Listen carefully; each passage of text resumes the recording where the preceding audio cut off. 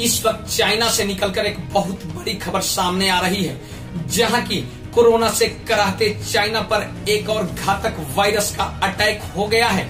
बताया जाता है कि चाइना के यूनान हंता नामक वायरस की अटैक से एक व्यक्ति की मौत भी हो गई है।